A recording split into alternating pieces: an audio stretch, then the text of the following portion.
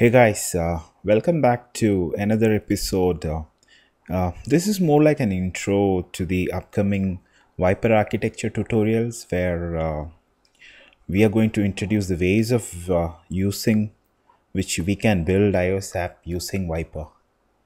So Viper is coming from the clean architecture paradigm uh, introduced to the world by Uncle Bob. If you've heard of him, just search for Uncle Bob in Google and uh, you will get to know the architecture proposal which we had done, which he had done for not iOS but then uh, some other platform, let's like Ruby on Rails or something, where uh, he identified that uh, you can actually structure a project in a way that uh, it is uh, use case driven instead of just having something like a view driven approach which we follow in uh, iOS application development uh, where everything is driven by uh, mostly with starting with the view controllers.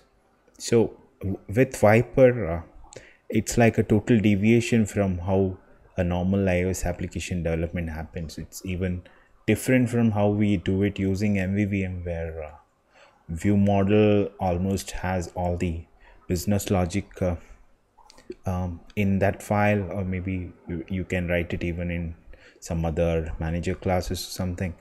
But um, with viper there is a clear distinction as to where and what has to come in which layer and everything is predefined. So that makes it easier for let's say somebody looking at your project structure to easily identify where to look for what. Let's say if it's a use case you can always go to an interactor and see the use case there.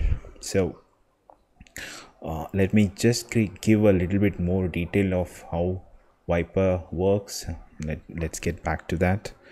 So so as i said it's coming from the clean architecture paradigm introduced to the world by uncle bob. And um, basically clean architecture is an ios app development uh, uh, in, in clean the clean architecture in ios is called viper. So it's nothing but uh, viper where v stands for view i for interactor and uh, p for presenter e for entity and r for router. So basic components to create a structure around which you can build ios applications